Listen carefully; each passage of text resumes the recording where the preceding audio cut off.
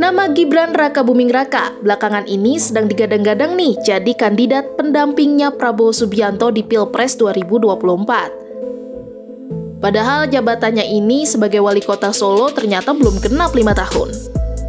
Ia baru saja dilantik pada 26 Februari 2021 lalu.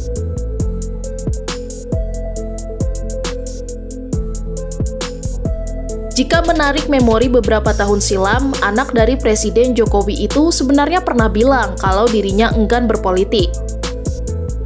Pernyataan itu ia keluarkan sewaktu jadi tim ses ayahnya menjelang Pilpres 2019. Nih, coba deh lihat cuplikannya. Saya dari awal itu, saya nggak pernah berpolitik, nggak pernah ikut tim sukses.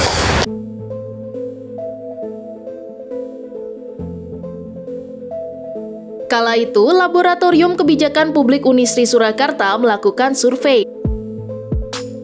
mengenai popularitas dan elektabilitas tokoh-tokoh dalam Pilkada Solo 2020. Nah, dalam survei itu, nama Gibran ternyata populer karena memperoleh 90% suara. Saat ditanyai awak media soal survei itu, Gibran pun sempat memberikan apresiasinya terhadap hasil yang ada.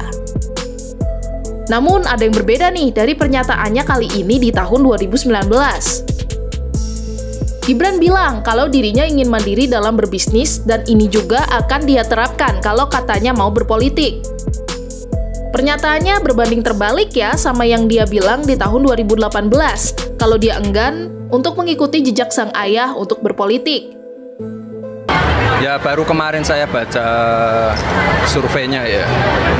Ya saya sangat mengapresiasi. Terima kasih sekali untuk warga Solo yang yang sudah memberi penilaian yang positif untuk saya. Terima kasih. Dan dari dulu tuh prinsip, prinsip saya itu harus mandiri. Jadi kalau jadi pengusaha ya harus jadi pengusaha yang mandiri.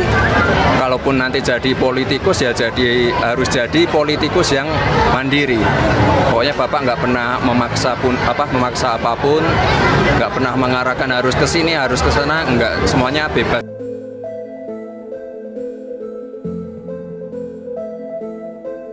Masih di tahun 2019, Gibran pun memulai langkahnya untuk berpolitik dengan mendatangi kantor DPC PDIP di Kawan Brengosan, Solo. Gibran datang ke sana karena udah mantap mendaftarkan diri untuk jadi kader PDIP nih. Saat itu, kedatangannya disambut hangat sama Ketua Pengurus Anak Cabang PDIP Banjarsari Joko Santoso. Dan di hari yang sama juga, Gibran langsung dapat kartu tanda anggota partai PDIP.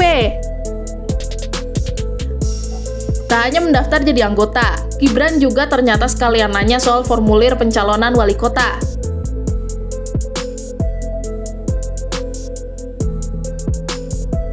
Gibran Raka Buming Raka beserta pasangan Pilkada Solo 2020 Teguh Prakoso resmi ditetapkan sebagai wali kota dan wakil wali kota Solo.